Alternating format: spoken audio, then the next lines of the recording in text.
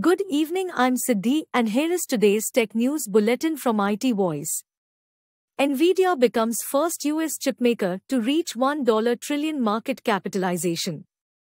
Instagram chief provides overview of ranking algorithms for better content reach.